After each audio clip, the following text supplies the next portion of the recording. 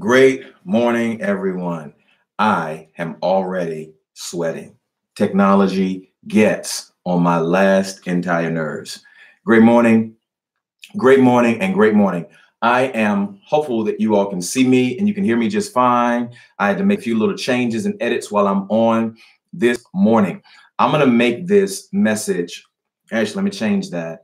There are a few things that I, I make sure I want to cover this morning with each and every one of you. I hope that you, you, you, and you are having a great, great, great, great morning. As you can see, we're getting ready to leave out of September, going into another month, getting ready to cross over into October really quick. But what I want to share with you, what I wanted to say with you this morning, really quick, it's going to come out of uh, Joel. It's going to come out of Joel. For those of you that are coming on, that are joining in, tuning in with us, make sure that you hit uh, that you hit that share button. This is going to be really great. I know some of you may have to come back and watch the replay. It is going to be a lot. Now, uh, if you're on watching on YouTube or watching on uh, social media or listening in with us, make sure that you hit this link and that you share it with somebody along the way. Now, I'm not sure exactly uh, what is giving on this other on this other network on this other side, but I'm talking to both of you guys. Switch swap here and let them tune in away also with me from YouTube and also from Facebook. Uh, I want to talk about restoration. Restoration. Joel, the book of Joel 225. If those of you that are looking for some restoration, need some restoration, just hit hashtag restoration on that screen wherever you might be pop in restoration, restoration, restoration, restoration. Now, the way I want to talk about it may be a bit, a little different than may, uh, how you may be used to hearing it or how you may have heard it, but that's what I do. So hit restoration, restoration. I want to give you a whole nother idea, a whole nother thought process about what restoration is. Um, not to take away from what you may know or what you may be clear about, but just something to add to restoration. So everyone that is in a space or in a spot where you need restoration, you know someone that needs restoration, you would like restoration, you would appreciate a little bit of restoration, you need a little restoration, you would clap, clap if God gave you restoration, twirl around, spin around for a little bit of restoration, hit that hashtag restoration. I don't know how to say it in Espanol, but El Restorio and French, whatever the case may be, whatever your other language, your other choice, drop it in a hashtag restoration. Really simple, really good. Joel chapter 2 and 25. This is what he says, and this is a really strange scripture, but when I break it down, it should make a lot uh, more sense. I just want to put some context to it. He said, I will restore the years that the locust has eaten, the cankerworm and the caterpillar, and the palmer worm, my great army, which I sent among you. All right, so that's Joel 25. Somebody drop that down there. Joel 25. He said, I'm going to restore those years. Now, what does all this mean? Now, when you look at uh, some of these books, you got Joel, you got Amos, some of these Old Testament prophets. Part of their hugest job and role is they're into agriculture, farming, gardening, vine dressing, all of that stuff. So in Joel chapter 2, when this Joel scripture was happening in Joel chapter 2, the way that God is chastising, he's chastising his people during this time who have gotten on his nerves. What he's done is he's released insects to them. Now, I think that's kind of like, you know, really petty of God to do. I do, because one of the most troubling things you can do, how pesky and irritating insects are. Like, can you imagine God wanting to chastise you and he sends some bugs to your house? Like gobs of roaches. Now, I got to bring this down into perspective so that you could fall in love with the storyline a little bit better. But just imagine, as much as some of you that are watching may hate bugs, now everybody doesn't hate bugs and everybody doesn't have an issue with bugs. But imagine if God wanted to chastise you. This is what Joel is saying. There's a chastisement and whatever insect that you have no need for in your house, no need for in your space, he releases it. Joel is talking about this chastisement that's been released. If he just sent a million roaches to your enemy's house, can you just imagine that? Like every which way. Because what it does is it compromises your ability to have social gatherings. It makes life uncomfortable. You're scratching, itching, plucking, pulling, snatching because there's a general unrest if you have bugs. And if you cannot control the bugs that are in your home or that are in your space, there's a whole infestation. So when there's a plague of it, you know, there is an innumerable amount of insects that have been released into this space. It's like you go to certain areas and you get an overabundance of mosquitoes or something really pesky. I know some of y'all may not mind roaches or like mind little spiders and everything crawling around in your area, crawling around in your space, but there's an infestation of them. It's environmental. And because it was so environmental, it's so huge. In Joel chapter 2, by time he says, I'm going to restore the years, the reason that he's talking about it, there's an infestation of all different manner of insects. All right. Somebody hashtag insects. If you have any of those emojis down where you are, why don't you find and utilize some of those bug emojis that you probably never touched, probably never used? This is a great time to go in there, use your fingers, and have very interactive, modern day, today technology work to your advantage and start dropping down the spiders and the beetles and the bugs. And so, Joel, this book of Joel, it opens up a whole nother conversation and this is going on during times where there are no pesticides, there, there, there are no moves like that. Joel chapter 2, when he says that I'm going to restore, he says, I'm going to restore to you the years that the locust has eaten. Now, let me tell you why this is so important. Well, what restore means, restore means that I'm going to bring it back.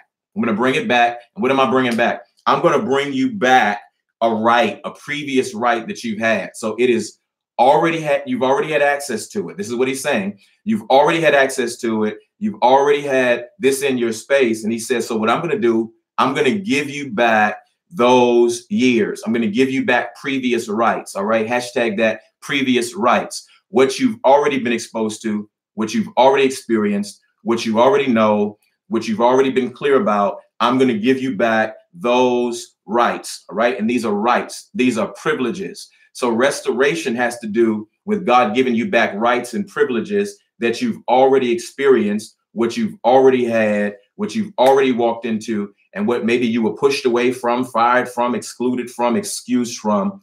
What I'm going to do is I'm going to give you back your previous rights. I'm going to give you back previous rights, previous rights. And when I'm going to give you back your previous rights, he said, or rights or practices or your customs, I'm going to put that back into your space. Now, what he says to him in 25, I'm going to restore those years that the locust has eaten.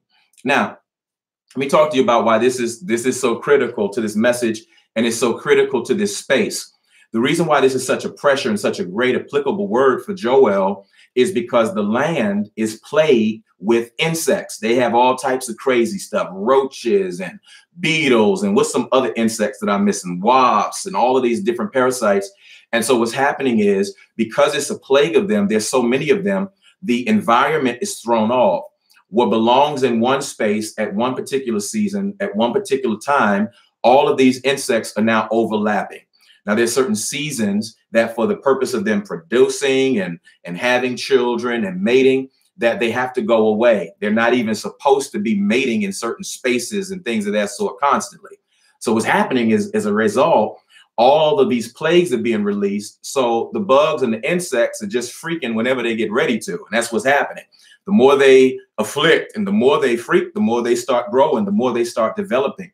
And so when Joel is prophesying and Joel is speaking during this time of the plagues, what he's saying is the bugs keep reproducing themselves, the insects keep producing themselves. Now, why is this a problem?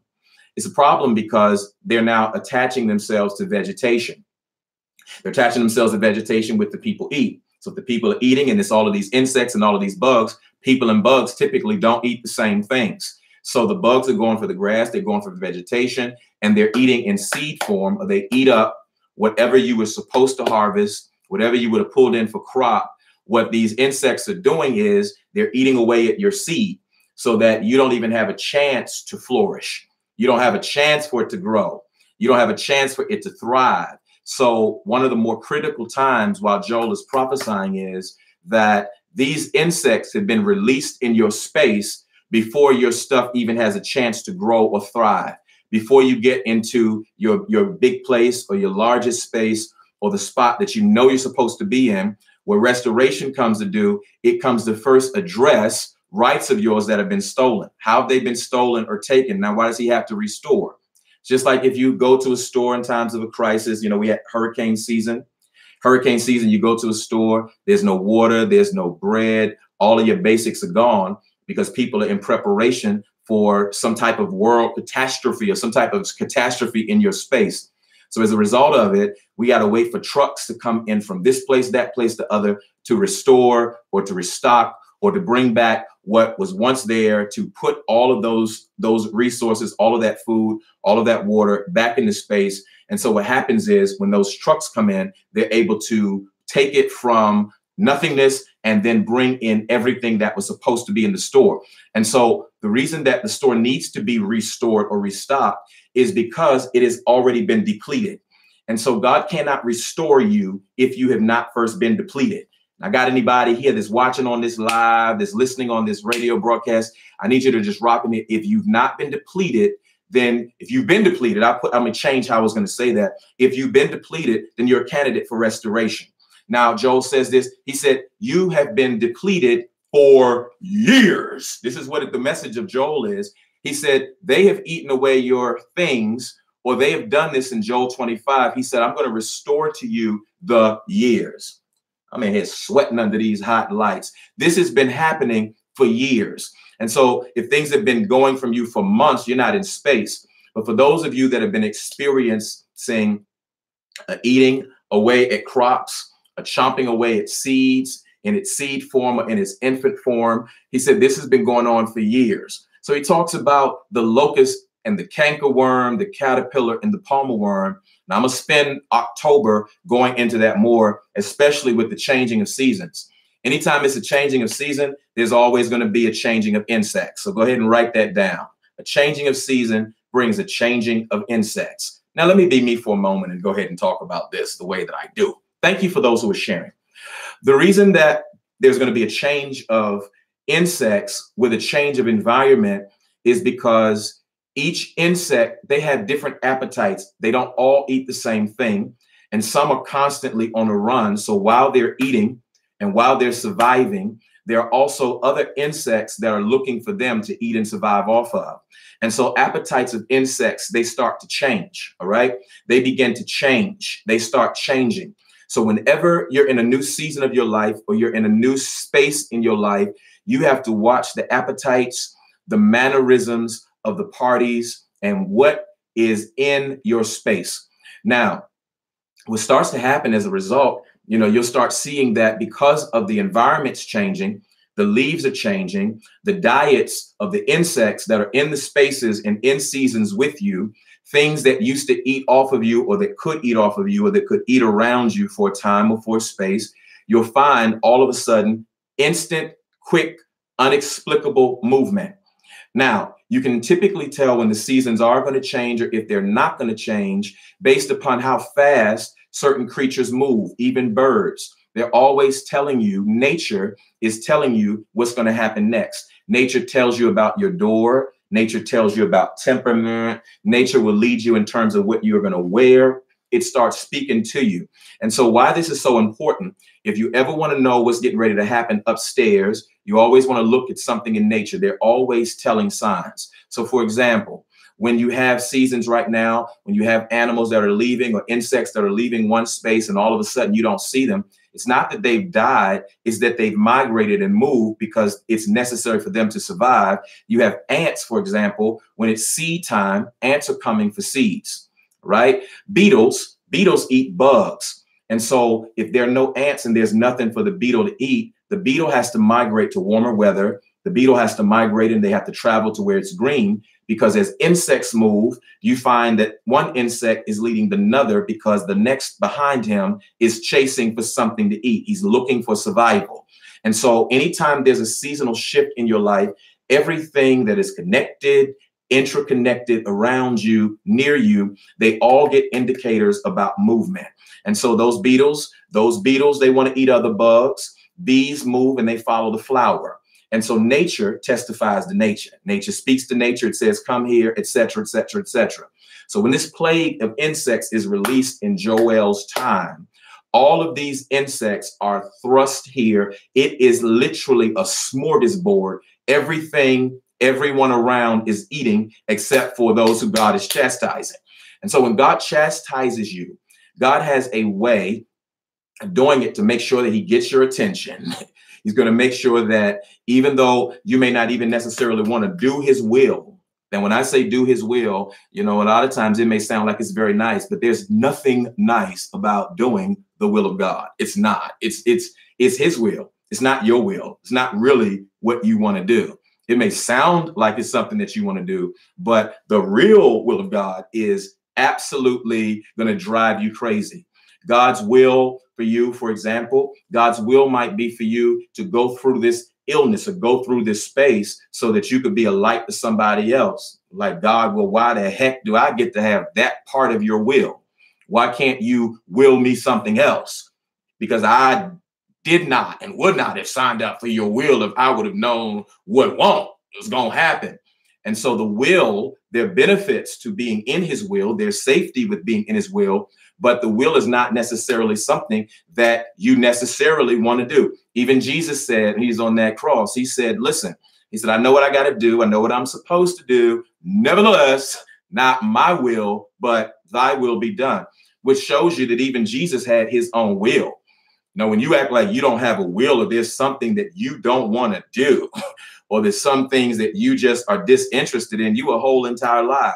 Everyone has a will, something that you want to do, something that you wish you could do.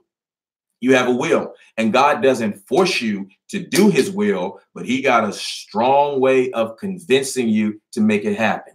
So he tells him, I'm to restore these years and he said, so now I told you, I said, beetles, they want those bugs. They want the bugs. The bees want the flowers. And the rats and fruit flies, guess what they want? They want the fruit. And so you don't have beetles coming after what fruit flies and things of that are going to go after because they're literally pursuing their diet. And when something is hungry, it's going to find a way to eat. And before they move into going into desperation, before the insects move into going into anything that is desperate or desperation, before desperation comes in, they collect all of the information they need. They watch the colors. They are able to discern by the wind and they start moving and they start migrating. You know, they don't wait until everything is done before they start moving. They get their assignment, they get their marching orders, and they already know where they're going the other in- instrument of them knowing, or not just knowing where they're going, even the insects that are blind and are not clear, they're so busy chasing behind what they're focused on that a beetle that wants to eat bugs because you're chasing. And if anybody has ever chased anything or been chased, sometimes the thrill of good a good old chase, and people don't really want you a lot of times. Sometimes they just want the chase. And after they've chased you and got you, they can disconnect because they were in love with the chase. So the more difficult, the more distant many times that you are, the more you up your chances of staying chaseable.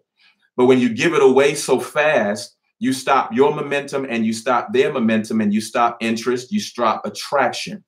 And so you have those that are not really blind or sensitive to what's happening, just your desire to eat when a man want to eat, when a woman want to eat, when a bug want to eat, when a dog want to eat, when a cat want to eat, when a roach want to eat, when a spider want to eat, when a thing wants to eat, eating, wanting to survive, and I'm talking about just plain old hunger. Somebody hashtag hunger. Thank you, Francesca. Francesca. Hunger, hunger, hunger, hunger, hunger, hunger.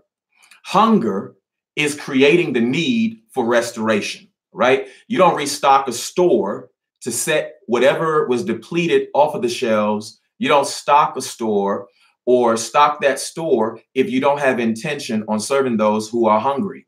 Everything you're going to that grocery store to get, you're going in there because you're hungry. There's some necessities that you need, but one of the primary that you need is going to be something to eat. Nothing survives without feeding its appetite.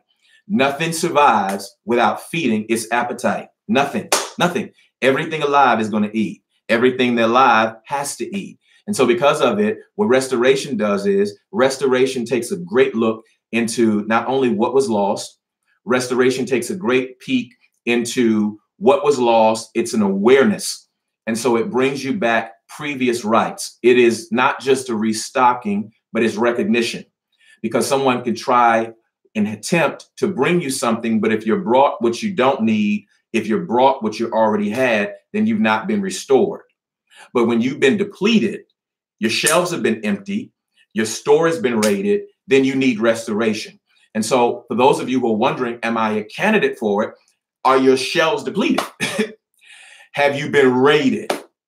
Have you been eaten? Have you been devoured? Have you been gobbled down of? And has that process been restored? Has it been replenished? Have those practices been put back in place? That's the question. Job 25, he said, So I'm going to restore the years that the locust has eaten. And here's where it gets a little murky. He says, I'm going to restore the years. Now, what is years? And this isn't rhetorical. What is years? It's time, right? Years, times. According to our our calendar, according to how we may process those that are watching that are, you know, that are stateside, you're roundabout here. We are processing here based upon 365, January to December. That gives us our year. What he's saying is the locust, the palmer worm, when this plague was so strong, they're literally out of food. The insects, they have nothing to eat. So the diets of everything is thrown off. When you're in a time and in a space where it's like your season or your etc. is depleted, everything is trying to eat, everything's hungry. And when everything's hungry, many times you don't have anyone willing to feed anything else because everyone is trying to eat. And because everyone's trying to eat and everyone's diets have been compromised because of the plagues that are hitting and that are going on in this area in this time, it's not just the ones who are in one space that are affected, but everything literally is affected. And so what they're showing is that when this plague is gone out in Joel chapter 2 in, the, in this book of Joel, while the plague is gone out, everyone's being affected Everything's hungry. Everything's trying to eat. And so he says in verse 25, I'm going to restore the years to you that the locust. Now, this is going to be the first one. And I'm going to go back into breaking down all of the individual roles and responsibilities that are attached to each individual insect here in this verse. So the first thing is going to be the locust. And he said, I'm going to restore to you the years, the times. So we know that locusts palmer worms, caterpillars, cankerworms, all of these things, they don't eat, they don't eat flesh. They're not meat eaters, right? They are supposed to be eating vegetation. And at bare minimum, if they should really get hungry, they should go ahead on and eat each other. But Joel 25, he said, Joel 225 said, I'm going to restore to you the years. Wait a minute. Their diets are so jacked up, so crazy that you mean to tell me that what they've been surviving on, these are locusts. Now, locusts, they eat everything. They're devourers. That is this their nature. They devour everything in their space. And if you've ever come across an individual or come across a space where you have had your life attached or attacked by locusts, they are devourers. So they leave very little. They come in great swarms. And when you open yourself up in that space, what the locust does, they come through and they literally they come and they're airborne, right? They swoop everything up top, zoom, zoom, zoom, zoom, zoom, zoom, zoom, zoom, zoom, zoom, zoom. And then once they've come through that, they leave down from the bottom and they leave it in remnant. And so what the locusts leave behind, because locusts have such a greater appetite, greater teeth, greater skill, and they are devourers. Once the devourer comes in, or once that space is removed, he said, I'm going to restore to you the years their appetites are so strong and out of control that they start eating away at time, right? So what are they filling their bellies up with? They're filling themselves up with what belongs to you. So when he says, I'm going to restore to you these years, they have eaten away at your crops. How did they eat your time? Is this literal? No, it's not like they could take a bite out of your 12 p.m. or take a hunk out of what's our time right now. Somebody drop for me the time. They can't take a bite out of your 11 o'clock a.m. They can't take a bite out of your last October or your yesterday or your September 29th. They're not eating 952. Thank you, Overseer, 952 a.m. They're not because you can't fill yourself up off of eating what is immaterial. You can't do it. He said they've eaten your time. So what really have they been chomping and chewing on? They've chewed on your crops. We talked about them even in larvae form. They've devoured your seeds. All of that is time. When you put a seed in the ground or when you sow a seed or when you put a seed in the ground and you expect to have apples and then you have a locust or you have a palmer worm, a caterpillar or cankerworm that goes and eat your seed, they're eating away at your time because I can't get time back for the shovel that I grabbed and went to purchase from Home Depot and dug in the dirt, pulling up minerals and soils and oils, finding the perfect space for sunlight, finding a spot that would nurture the seed. I can't do that. Then I got to go find brand new manure, stick manure back over top of the seed, find a cow, go through this whole process. And now the seeds that I've sown, because of the insects that are in my space, they have literally eaten away my trip to Home Depot. They've eaten away the shovel that I purchased. They've eaten away the dirt. They've eaten away all the manure that I've stuck my hands in. Those of you messed up your manicures playing with manure and crap you shouldn't have played with, touching things you shouldn't have touched, just to try to make sure that you were not wasting your time. Time. All right. If there's anybody here that don't like to waste your time, just write that. Don't waste my time. Don't waste my time. What Joel says is he says, What I need to do, thank you for those who are writing. If you want to drop that thing so I could post it up for those on my team on social on Facebook. If he says what happens is when they're eating this, or when they are eating away at this message or eating away at your time, they are devouring, eating away processes. All right. They're eating away processes and systems. So if I was sowing seed in one season, expecting to have tree harvest and crop in another, and when I go to the same spot that I sold in, looking for a return, looking to receive something, he says, This is what has created this depletion. And with depletion comes a depression. Depletion brings depression. Y'all write that? Depletion brings about a depression. Why are you depressed when there's a depletion? A lot of times there's a, a depression attached to depletion because many times if persons don't know how to survive without anything, they said, I've done my job, I've done my process, I've sown, I put the seed in the ground, but there are things underground that I cannot control. I cannot control. And because I cannot control it, I can't stop it. One of the even the reasons that you have to even know when you're going into new territories or there are new scenes, you even have to know and be clear, even if you want to get rid of certain things, there are not certain pesticides in place and things of that sort.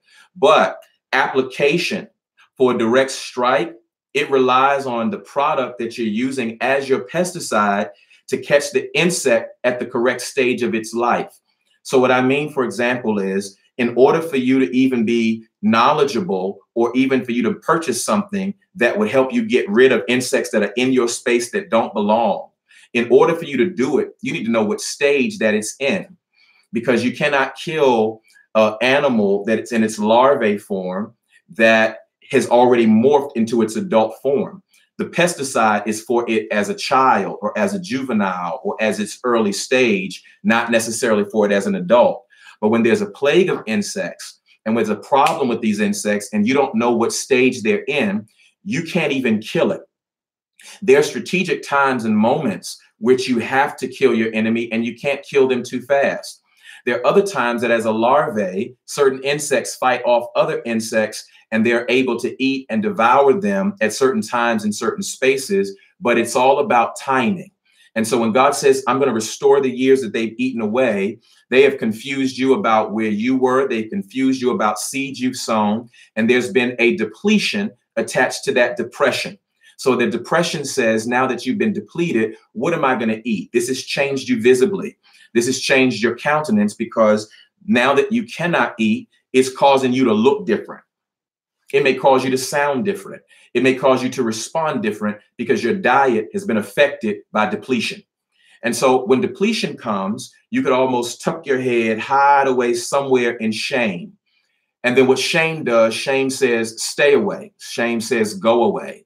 Shame says, remain in isolation. It says, remain in some form of bondage. This is what shame does. Shame runs you away. So when the scripture in Joel says in 25 talks about restoration, you don't know you've been restored if what you've been eating from and experiencing has been depletion. So what you know to know that you've been restored, he says, I'm going to bring this back and I'm going to put back on your shelves, back in your space, back in your cabinets, back in your cupboards, what you've been missing. And so in order to do it, I'm going to restore to you that the years, these years that the locust has eaten. Now, he doesn't speak about them digesting it or devouring it. He said they dined on it, they've eaten it. But what they cannot do and what they're not is finishers. All right. So they ate it, but they didn't finish their food. They ate it, didn't finish their food. I'm gonna take you guys into your your October. I probably need to get ready to go because I think I'm a little bit over time this afternoon or this morning. For those of you who wanted to sow, thank you for if you put that on on so on Facebook. Thank you. Uh, drop that on Facebook real quick. Switch over real quick. Drop it on Facebook, and I can plug that post in there for those who are asking how they can sow. I can send that to you for those that want to sow into this message. Restoration. What he was saying to it is, when I send this restoration that this locust has eaten how did they eat it and why did they eat it? They eat it and they're eating different things because your enemies are running out of foods to devour. They're running out of their own resources. They're not comfortable in their own space. And so what they've done is they have attached themselves into other parts that are fruitful, that are fruitful. And you have to be very careful that when you're in a time and when you're a space of fruitfulness, that you are cognizant of each and every everything that is in your space that wants to eat away because it's hungry. All right. So they have to come to an oasis. They have to come to a place or a space that is healthy. And so, as a result of that, he says, I'm going to restore to you these years. So, there's a recognition with restoration. All right. There's recognition.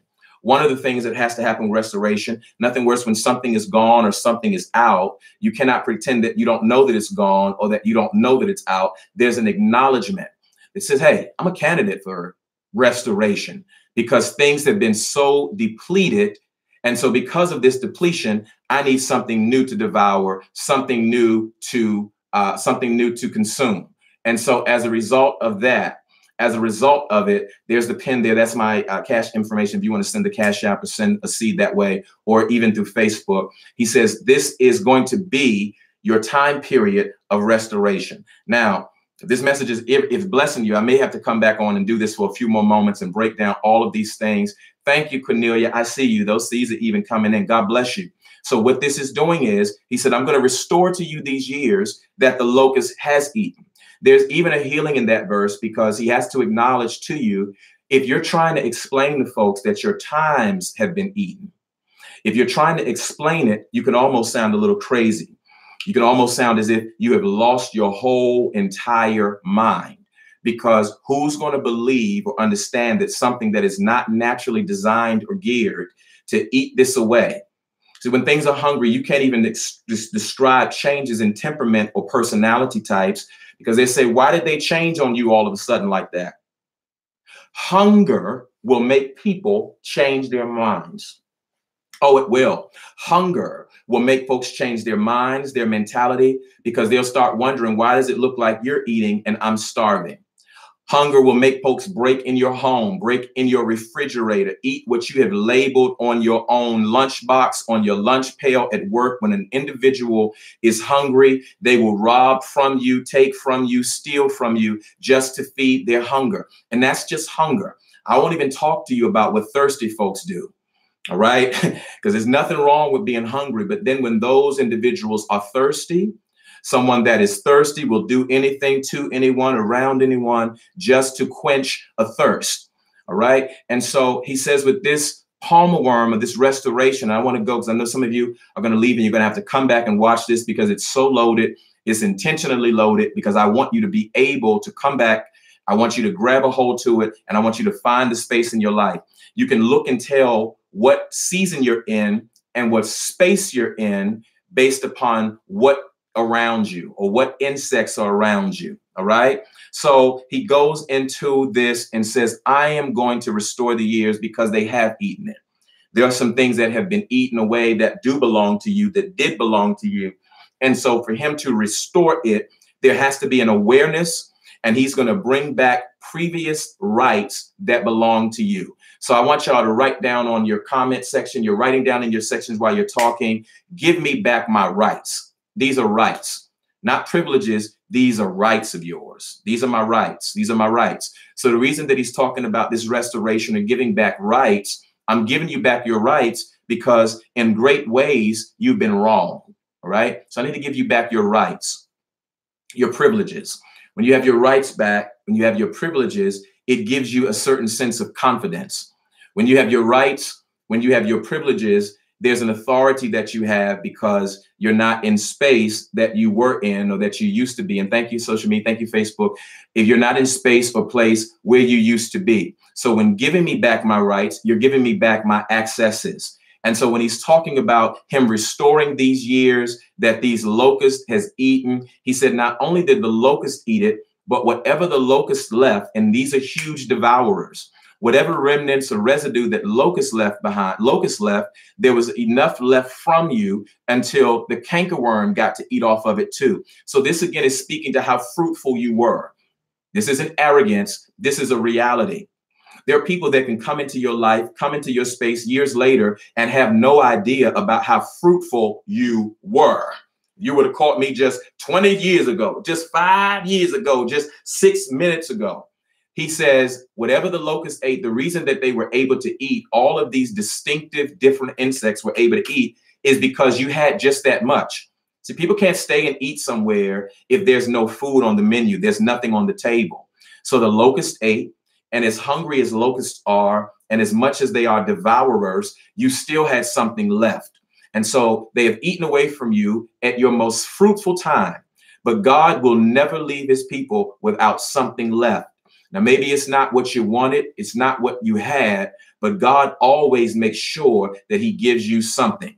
Even if it's nothing more than manna that comes to you day by day, that means that I didn't give you the account you used to have or the resources or the money, but day by day, what manna does, I made sure that it dropped for you. It tasted like what you like. It was just what you needed for the day. And so, what I sustained you with, I gave you sustenance even when I didn't give you what you wanted the way you wanted, because I was reteaching you and then re-showing you how to process life in a space where it looks as if you've been totally depleted. What the locust left, however, this is where total devastation comes. Because after you've been hit with locusts, and if you've ever seen locusts, you know locusts eat so much that they can eat and disappear for years and come back still surviving off of what they ate. You had so much until locusts got full off of your stock. Some of you, and I'm speaking not just natural resources. If you think I'm just speaking naturally, I'm not. I always am going to talk in multiple spaces to multiple people because that's going to be the audience that I'm talking to. So you could have been loaded with resources, loaded with benefits, loaded with health. And so what happens is now that they've eaten away of everything that they could eat away at, the locusts have moved. They full, they can disappear because you had that much of a wealth of meal. The locusts leave, and then after the locusts leave, the cankerworm comes in. Now, the cankerworm can't devour. They don't have the molars and the abilities to chomp and chew like the locusts do.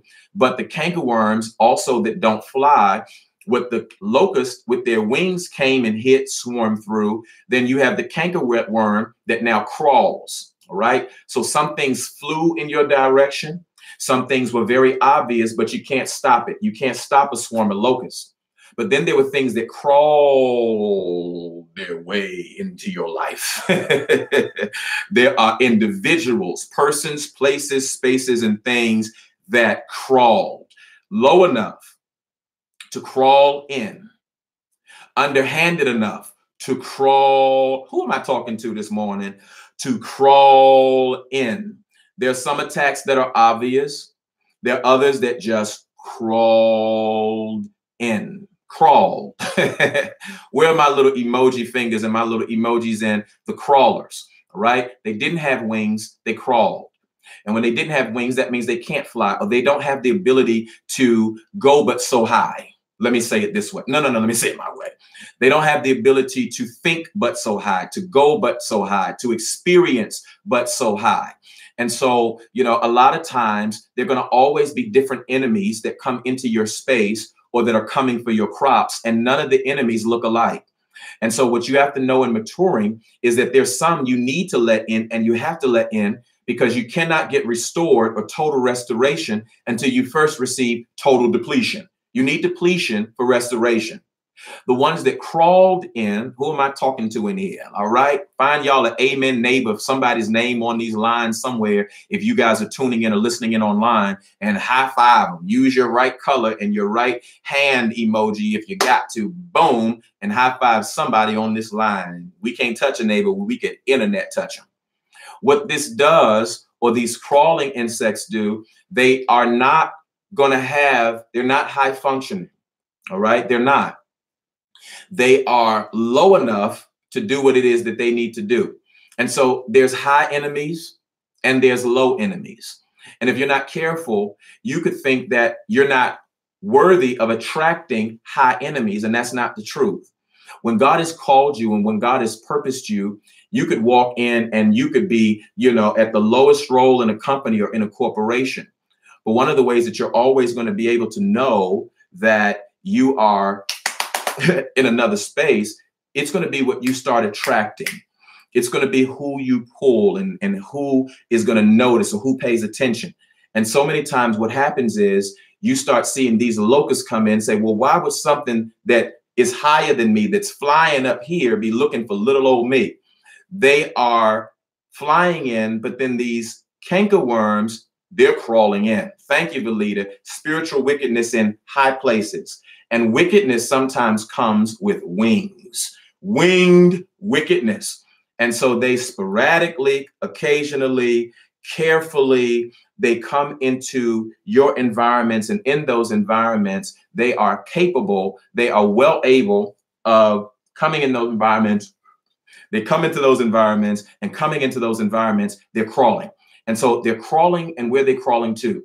They're crawling specifically because they are knowledgeable and they notice that the locusts have left some materials and left residue behind. What also the locust has done, they have devoured meals that the cankerworm couldn't fully devour with their claws and their tentacles and their molars. What they've done is the locust made it possible for the cankerworm to do its job. The cankerworm could have never preceded the locust because the cankerworm could not have caused that much damage. So even the release of certain attacks, they come to you specifically because they understand that in order for me to do this, I got to wait to do this until that one has done that. So God doesn't even send all your enemies at one time, but he will send them consecutively. Finish that, finish that. All right, get this done, get that done, get that done, get that done. So that the word Joel spoke was so exact, it was so accurate. He wasn't giving Joel a word about a new refrigerator when Joel needed a word for the people about what's going on with these insects. And so it was so accurate, it was so specific. This was a word of hope. He wasn't telling Joel if God said you're going to get a car in seven days. No, the word of the Lord is I need to know what's going on with these insects because what was going on, the people couldn't eat. And so he said, when the caterpillar, the cankerworm finishes, and I'll have to go back all into this later, he said, they will get into the caterpillar and the palmer worm. And he said, they were all a great army that I sent and I sent it to deplete you, to chastise you. Chastise me for what, God? Why you want to chastise me? Times God chastises us to get to a place into a space of faith. Two minutes. Y'all give me a two minute countdown. You chat, you're chastised because God wants to have you placed, He wants to have you set up, and He wants to put you back into a place where your spiritual principles and your spiritual values are reflective of where they're supposed to be. And so, what He'll do to it is, I'm going to send an army. And when I send you this army, I'm going to send this army, and the army is going to drive you back to prayer. It's going to drive you right back to the basics, and it's going to set you where you need to be. This is what I'm going to be going into October. I got to go because I got to use the bathroom real bad, y'all. So I got to go real fast. If you want to sow, the links are right there. Hallelujah. Glory to God. I got to get off of here. God bless y'all. I will see y'all real soon. Bye and bye and bye and bye and bye. Woo, bye. Hallelujah.